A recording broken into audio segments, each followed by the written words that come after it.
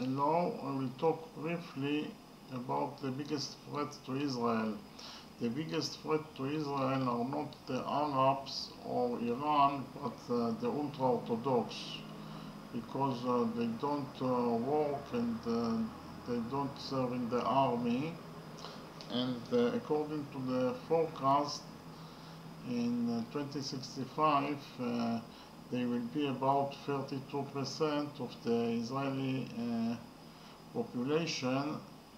Uh, and if uh, this scenario will happen, then our economy will collapse and uh, our enemy will have greater motivation to fight against us and to try to eliminate us.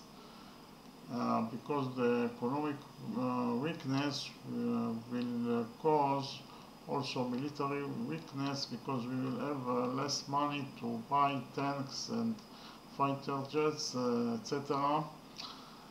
Uh, so the solution to the problem is the, first of all to cancel the exemption uh, for, for military service to the ultra-orthodox uh, or alternatively to uh, give the exemption to maximum 50 yeshiva students uh, each year.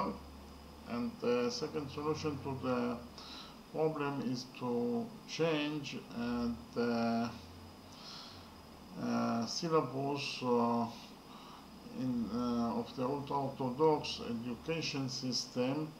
So the ultra-orthodox children will learn English, math and science and then they can uh, become uh, engineers, uh, scientists and physicians. Okay, thank you very much.